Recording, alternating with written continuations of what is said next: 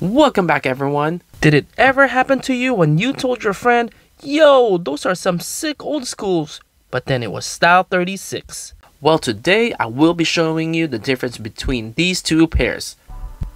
We got two boxes today. First one up is this Bodega and Vans Vault collaboration called the High Note. This is the Style 36 pair I will be using. This one was released on April 2nd, 2021.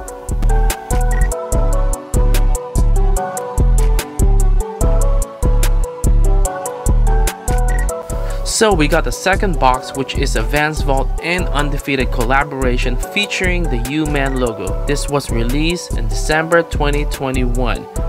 This is the pair that I will be using for the Old Skool model. So after watching this video, I guarantee you will be a pro on how to tell the difference between a Style 36 and an Old Skool. Just like all my videos, I will still have an on feet video, but today is different. I will be showing multiple pairs and have you guess if it's an Old Skool or a Style 36. So make sure you stay till the end of the video. Are you ready? Let's go!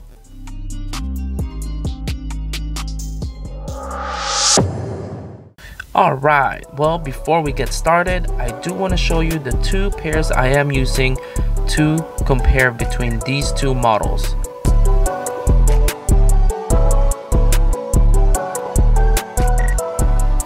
First one up is this Bodega pair.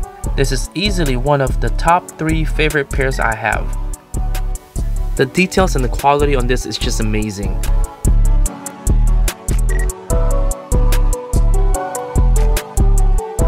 That heel tab is nice.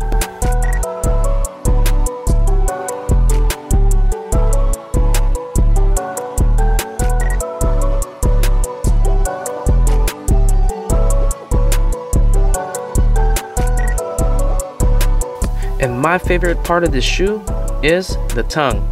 Yeah, I know it does look like a Louis Vuitton pattern, but it is definitely a nice touch.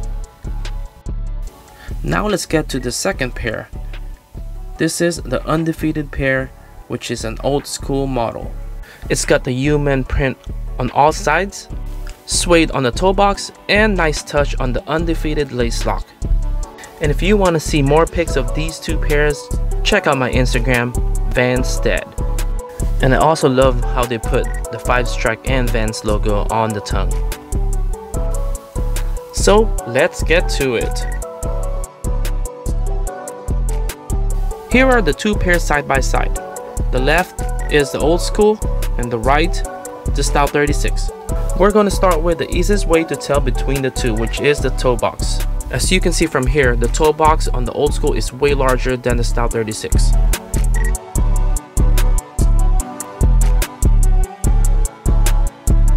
The second easiest way to tell is the space between the toe box and the side stripe. Check it out here. Because the toe box is smaller on the Style 36, there's more space between that and the side stripe.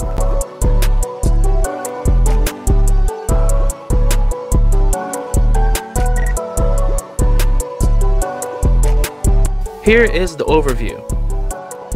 Bigger toe box and less space between the side stripe on the Old Skool and smaller toe box but bigger space between the side stripes on the Style 36.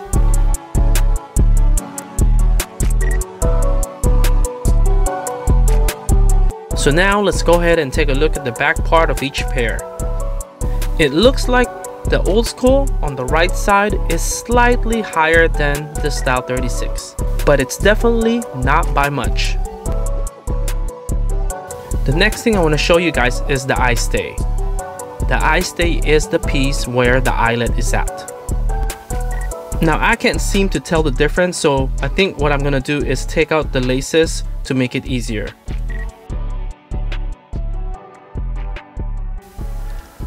Alright, so now that we got that out of the way, let's go ahead and find out which eye stay is longer and how many eyelets each pair has. So this is the eye stay.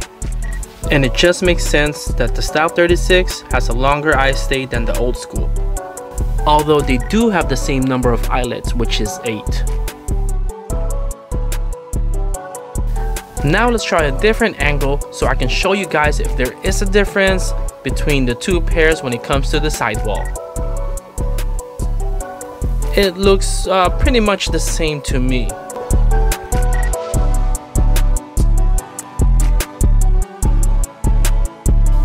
So the last part I want to take a look at is the tongue. Let's see if there is a difference. So I am sure you can tell right away that the tongue on the Style 36 is wider and longer. Oh, let's pause it right here. There is one last thing I wanted to show you guys. The stitchings on the side starts differently on each pair. The Style 36 starts on the eye stay, while the Old Skool starts on the toe box.